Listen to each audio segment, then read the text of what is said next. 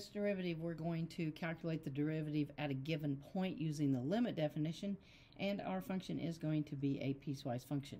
Now, I am going to choose to use the alternate form of the derivative on this one, all right, because I just think it's going to be a lot easier here, okay, especially since we know uh, f of 0 is 2. Okay, so um, we're going to start here with f prime of 0 is equal to the limit as x approaches 0. All right, we'll have our function minus f of 0, function value at 0, and then we'll have x minus 0 here, implementing this alternate form of the derivative. Okay, now what I'm going to do is I'll plug in my uh, things that I know, so I'll have the limit as x approaches 0. I'll plug in my function, which is sine of a 2x all over an x.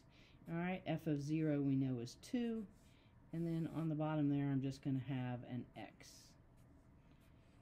Okay, now I've got a um, complex rational expression there in the center right here, so I want to algebraically manipulate this to get rid of that. So I'm going to multiply through by the least common denominator of x. Okay, so that's my least common denominator, multiplying through by x so that I can get rid of that fraction right there.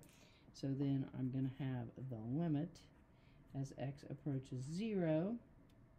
Go ahead and keep those square brackets in there. That's going to give me a sine of a 2x, all right, minus a 2x, and then all over an x squared.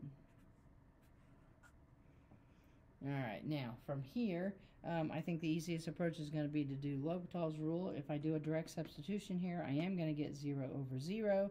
So then that means I can do L'Hopital's rule. So from here to here, we're going to be doing L'Hopital's rule. Okay, so we'll still have our limit notation. We'll have the limit as x approaches 0. Okay, so when we take the der uh, derivative right here, it's going to be a 2 cosine of 2x. Be sure to include that chain right there. Derivative of 2x is just going to be a 2. Derivative on the bottom there is going to be a 2x. All right, we'll go ahead and put those square brackets back in. Okay, and then at this point right here, I think it's going to make it a little bit easier if I factor out a 2 on the top so that I can cross out the 2's.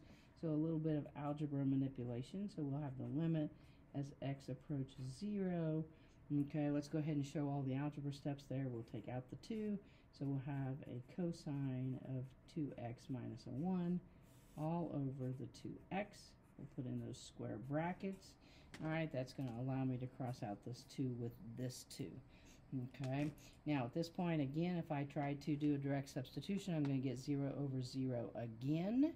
So then I need to do L'Hopital's rule one more time at least one more time here. So then I'm going to have the limit as x approaches 0. Alright, so taking the derivative here, we'll have a negative 2 sine 2x, not forgetting that chain. Alright, derivative of the 1 goes away, derivative of the x on the bottom is just a 1. Okay, and now I can do a direct substitution. When I plug in 0 here, I'm going to have an overall limit of 0. Alright, so quite a long process here, but um, calculating that derivative at a given point using that limit definition um, is really good practice and done pretty commonly in a Calc 1 class. Uh, definitely thanks for watching. If the videos are helping, please be sure and share with your friends so they can benefit too. And don't forget to subscribe to the channel. Thanks.